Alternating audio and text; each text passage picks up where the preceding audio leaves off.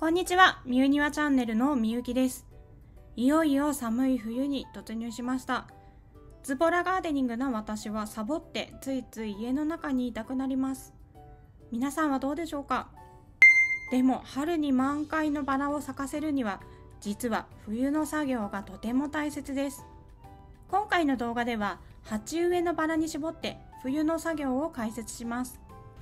鉢植えのバラは冬の12月から2月頃に植え替えと剪定をする必要があります。この冬のお世話をすることで春の花つきが変わってくるんですね。とは言ってもバラの植え替えは奥が深いんです。場合によっては植え替えをしなくても大丈夫だったり植木鉢の大きさを選ぶポイントがあったり鉢植えのバラの状況に合わせて対応する必要があるんです。そこでこの動画では鉢植えのバラの植え替えをする理由バラの植え替えをするかしないかの見極め方。植木鉢の大きさを選ぶポイント。これらをバラ栽培初心者の方にも分かりやすく解説をします。バラの植え替えと剪定を実際にやってみました。是非この動画を参考にバラの鉢植えの植え替えをやってみてくださいね。一緒に春のバラをたくさん咲かせる準備をしましょう。このチャンネルではズボラくらいがちょうどいいをテーマに簡単にできるガーデニング情報をご紹介しています。興味がある方は最新動画を見つけやすくするためにチャンネル登録をよろしくお願いします。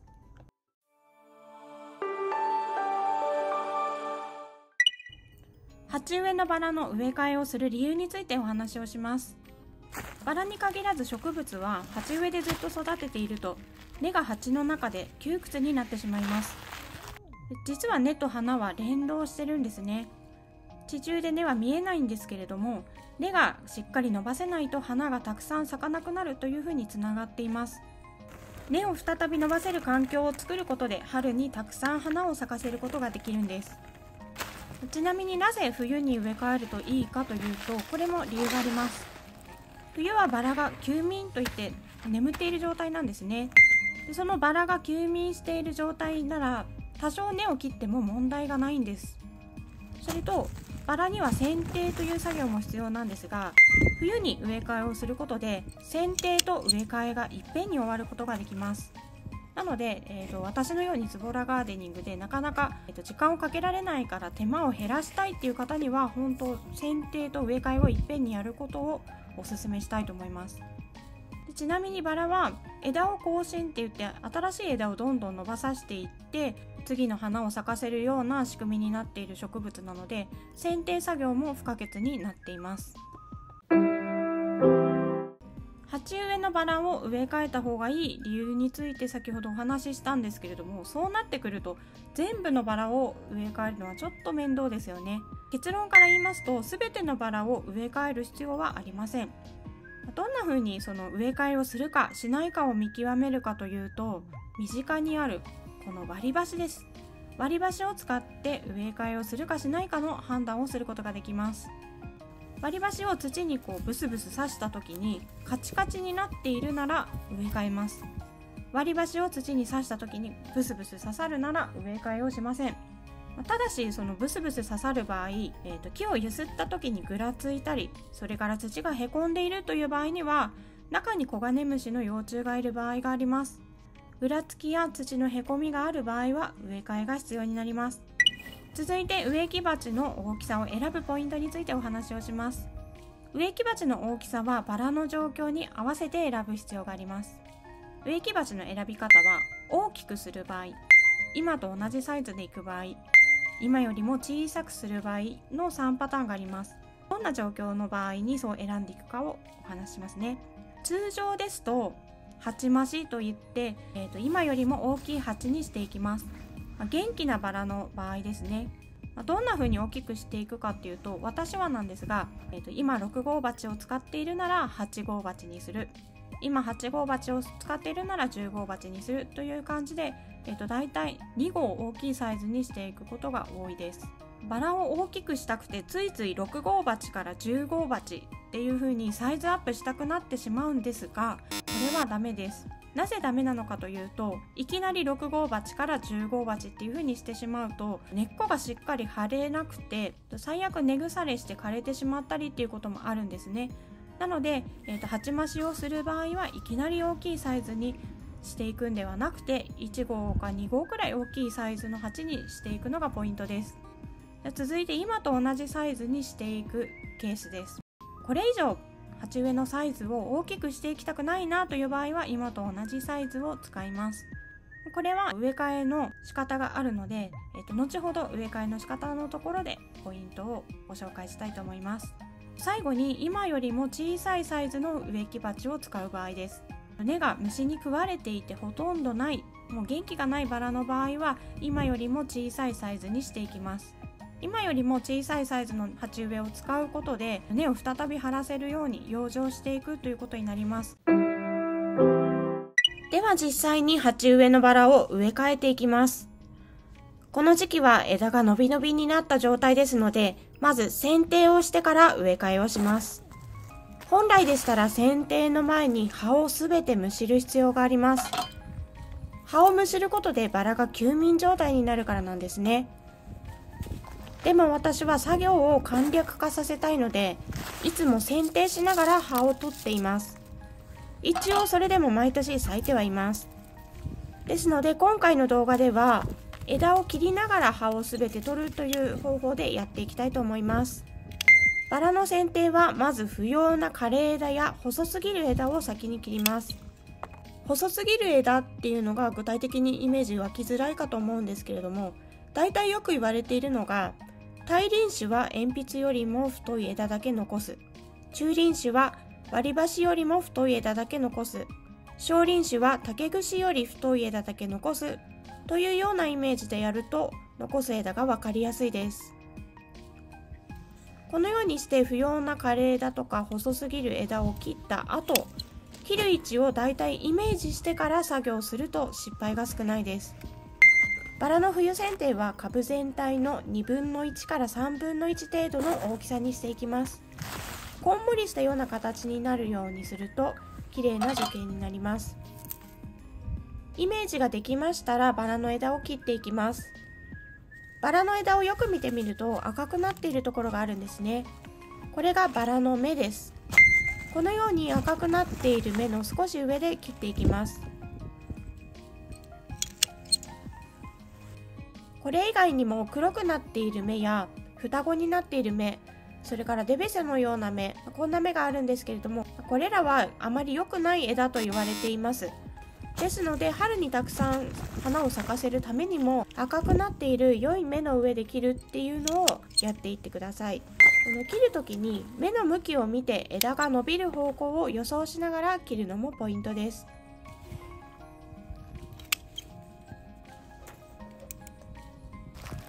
こんな感じで剪定が終わりました。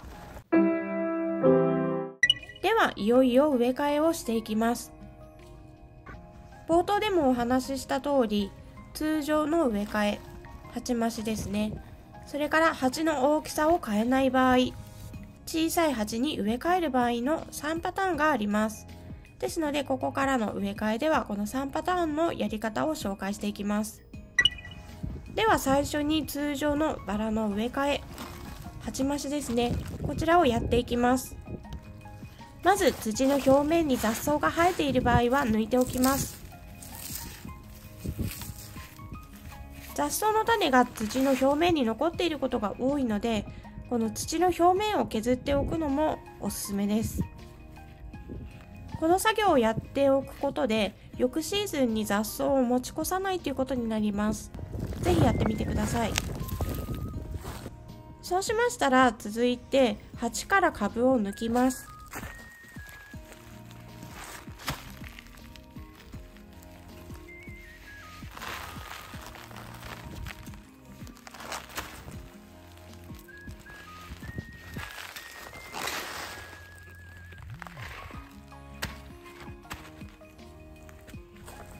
地がガチガチに固まっている場合は固まっている根をよくむしってほぐしてください。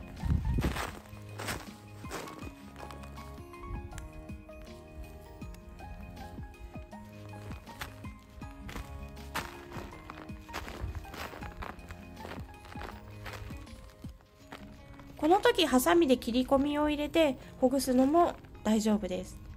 硬くて全然ほぐれないという場合はハサミも使ってみてください。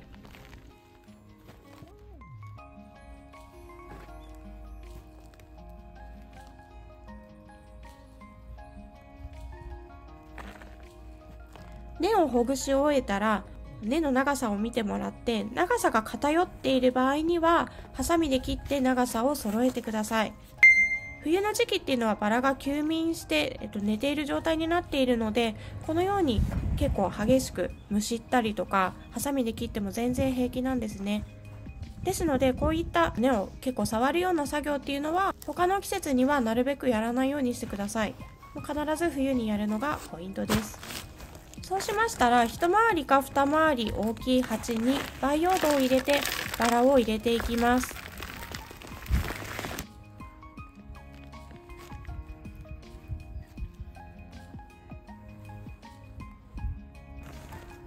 その後根の隙間にもしっかり土が入るように培養土を入れていきます。結構間に隙間ができてしまったりっていうことが多いのでしっかり培養土を入れるっていうのを意識してみると良いかと思います。土は鉢の縁下3センチくらいのところまで入れていきます。ここまで入れ終わりましたら鉢底から流れるまでシャワーで水をたっぷりと与えてください。この時バラの株をゆすりながら培養土を入れていくと土がまんべんなく入りやすいです。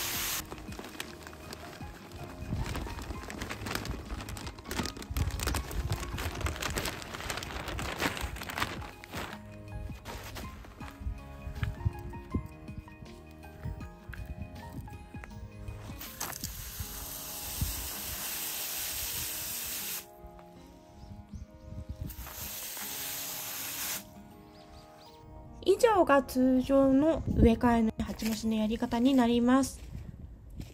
続いて鉢の大きさを変えない場合の植え替えについてご紹介していきます。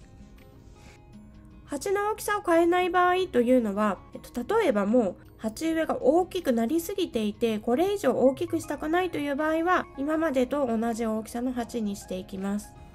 もしバラを抜ける場合は先ほどと同じように抜いていただいてから植え替えるのでももちろん大丈夫です。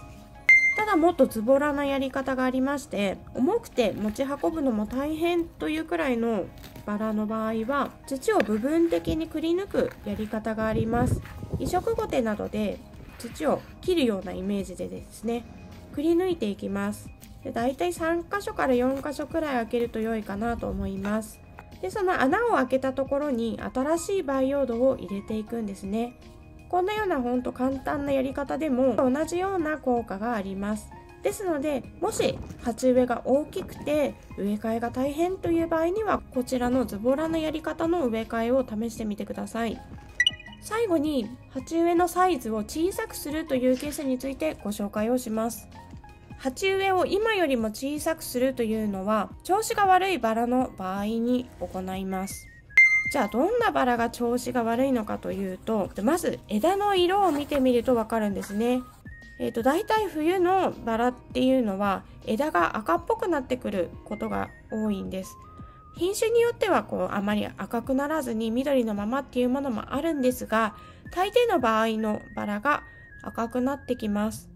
ですが元気のないバラっていうのは赤くならずに黄色っぽくなっていたりとか黄緑色っぽくなっていたりっていうことがあるんですね。ですのでそういった枝の色が見られる場合には元気がないという判断をしてみてください。そんな感じの元気がないバラがありましたら一度抜いてみてください。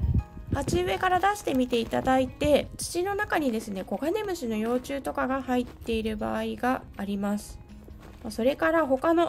病害虫ですね。やられている場合が多いです。抜いた後に株元とか根っこの辺りをよく見てもらって虫がもし出てくるようだったら取り除いていただいてもう一度植え直しをします。で大体元気のないバラっていうのは根っこが黒っぽくなっていたりとかそれからもうほとんど根っこがないっていう状態になってることが多いです。もし黒っぽい根っこが見つかりましたらそれを切っていただいて元気な根っこだけ残すようにしていきます。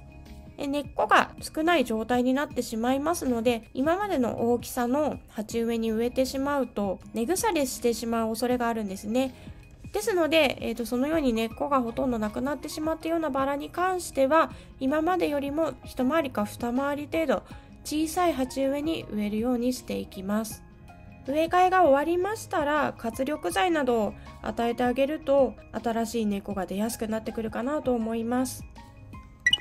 以上の3つのやり方ですね。通常の植え替え。それから今までと同じ大きさの鉢にする場合。それから小さい鉢に植え替える場合。という3つをご紹介しました。鉢植えのバラはずっと育てているとだんだん養分がどうしても流れ出てきてしまったりとか根詰まりを起こしてしまって花がだんだん咲きづらくなってきてしまいます。ですのでこの冬のお世話がとても肝心になります。春にたくさんの花が咲くことを頭に思い浮かべながら是非作業をやってみてください。ちょっと寒いんですけれどもね、えーと、この時期がとても大切になります。みゆにわチャンネルでは今後もズボラくらいがちょうどいいをテーマに簡単にできるガーデニング情報をご紹介していきます。チャンネル登録と高評価もぜひよろしくお願いします。最後までご覧いただきありがとうございました。